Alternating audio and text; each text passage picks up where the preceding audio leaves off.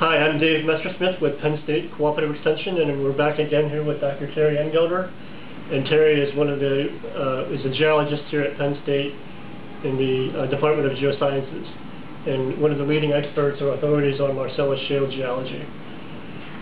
Uh, so Terry, the topic for this flip is to talk about uh, the core producing areas in the Marcellus, uh, and I guess really just basically what um, uh, do we have enough data available to us now to start to Uh, understand where the core producing areas might be? Dave, the initial production in the Marcellus came from Washington County, Pennsylvania, that's west of Pittsburgh. Range Resources had a number of early wells that were just marvelous over there.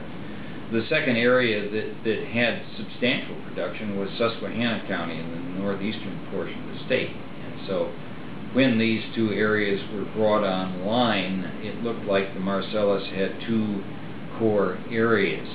As the play has developed over time, people have explored more broadly, and uh, the southwestern area of Pennsylvania now includes a fairly large number of counties, both in West Virginia and Pennsylvania, Pennsylvania, Washington, Fayette, Greene, Westmoreland, for example, are just great in the northeastern part of the state, there's a strip along the northern tier of New York, and those include the uh, Susquehanna County, Bradford, Tioga County. Then here in the central portion of the state, we see the play going from Lycoming County through Clinton and Centre County into Clearfield County.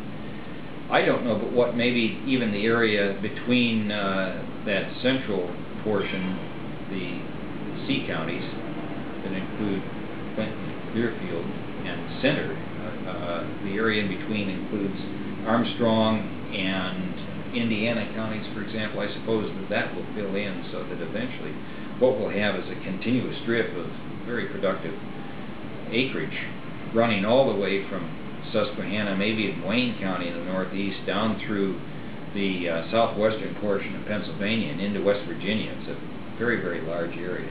Really exciting. Do you have any thoughts about uh, about other areas outside of that? Uh, what might be the, what might be become the core, and what the prospect of well, I, I think that I think that generally I've I've defined the core area, and uh, uh, obviously if New York State permits drilling, it's a big question mark. Uh, then there's no doubt that Broome County will really have a, uh, a fairly exciting time. Tioga County, New York State, Chemung County, in New York State, possibly even the southeastern portion of, of uh, Steuben County. I'm hopeful that it makes it all the way over to Allegany County, and uh, that includes uh, Potter County in Pennsylvania, for example. Big, big, big, big area. Down in West Virginia, of course, one of the things that we see is that, that the northern tier of counties in, in West Virginia, Monongahela, Preston, Marshall County, that region looks pretty good as well. Tyler County, Ritchie, and those. Okay.